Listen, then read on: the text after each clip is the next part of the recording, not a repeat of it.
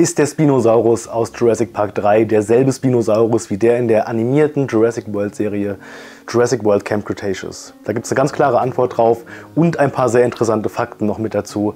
In diesem Sinne fangen wir einfach mal an und viel Spaß mit dem Video.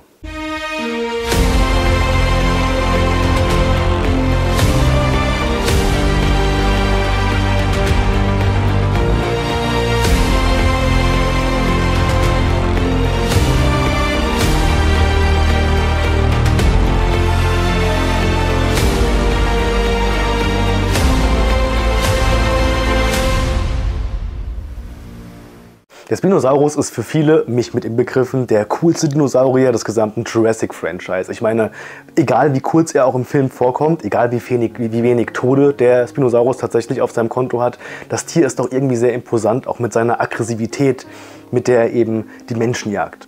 Dummerweise war Jurassic Park 3 nicht wirklich erfolgreich. Man hat sich deswegen gedacht, ja, der Spinosaurus könnte Menschen an einen nicht so erfolgreichen Film erinnern, lass den mal aus anderen Projekten jetzt irgendwie raus. Obwohl, ganz kurzer Fun Fact, tatsächlich war der Spinosaurus ganz zu Beginn, als man angefangen hat, Jurassic World Dominion zu planen, sogar in dem Film mit involviert. Also er war mit eingeplant gewesen aber wie wir wissen, wurde da eben nichts draus. Stattdessen haben wir eben die animierte Serie Jurassic World Camp Cretaceous bekommen und da sehen wir den Spinosaurus in Staffel 4 das erste Mal wieder. Die Frage, ob das nun derselbe Spinosaurus ist wie der aus Jurassic Park 3, liegt also dabei sehr nahe. Und ihr habt mir ein paar Quellen zugeschickt. Die einen sind offiziell, die anderen sind zwar nicht offiziell, aber die kann man als Quellen dahernehmen weil die einfach seriös genug sind, dass man die auch als Quellen betrachten kann. Allerdings habt ihr hierbei oftmals einen Denkfehler gemacht, denn ihr habt mir immer wieder geschrieben, Tobi, das ist derselbe Spinosaurus und das steht hier im Text drin.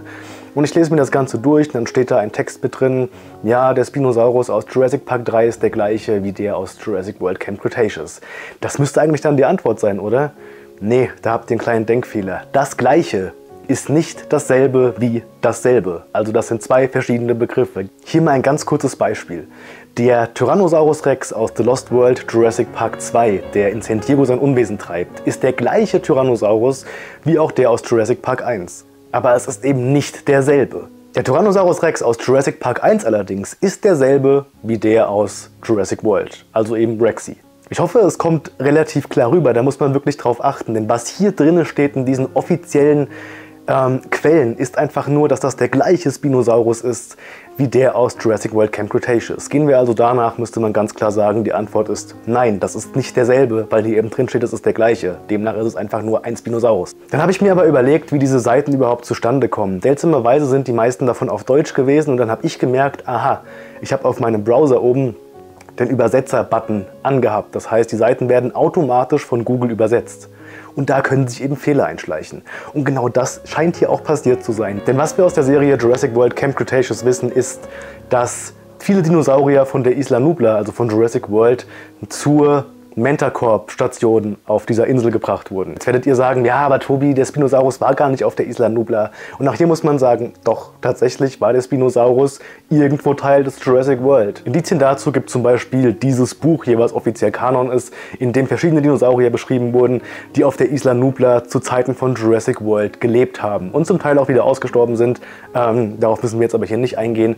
Und darauf sehen wir ganz klar, es war ein Spinosaurus. Die Wahrscheinlichkeit, dass man den Spinosaurus aus Jurassic Park 3, also zu Isla Nubla gebracht hat und denselben wieder zur Mentacorp-Station in Jurassic World Camp Cretaceous Staffel 4, liegt also sehr nahe. Oder ist vielleicht sogar bestätigt, tatsächlich haben sich nämlich zwei der Mitproduzenten der Serie dazu geäußert und die haben in einem Interview ganz klar gesagt, ja, tatsächlich ist das jetzt hiermit offiziell Kanon. Der Spinosaurus aus Jurassic Park 3 ist derselbe wie der in Jurassic World Camp Cretaceous. Ob das von Anfang an so geplant gewesen ist oder ob die einfach auf die Fanfragen reagiert haben, das kann ich euch hiermit nicht sagen. Ich glaube tatsächlich irgendwie beides so ein bisschen. Sie haben den Spinosaurus sehr wahrscheinlich eingeführt, weil der ein riesen Fanliebling ist, haben aber dann nicht gedacht, dass sie irgendwann Rede und Antwort stehen müssen, ob das exakt derselbe Spinosaurus ist wie der aus Jurassic Park 3. Und jetzt haben wir hier die Antwort, die beiden haben gesagt, ja, damit ist es offiziell Kanon. Der Spinosaurus aus Jurassic World Camp Cretaceous Staffel 4 und 5 ähm, ist derselbe wie der aus Jurassic Park 3. Und ich will hier nicht den Klugscheißer raushängen lassen. Wie gesagt, ich mache da auch genug Fehler. Aber wenn ihr mir solche Quellen schickt, da müsst ihr wirklich drauf achten.